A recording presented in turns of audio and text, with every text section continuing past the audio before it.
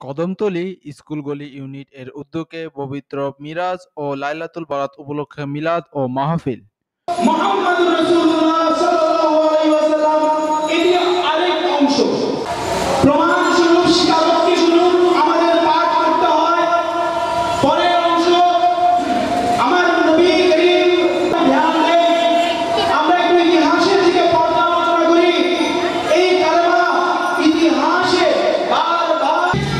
অনুষ্ঠান গান হচ্ছে আজ থেকে একশো বছর আগে একশো দেড়শো বছর আগে ইংরেজদের বানানো একটি মাদ্রাসা যেটা দেওবন্দ নামে পরিচিত সেই মাদ্রাসা থেকে কখনো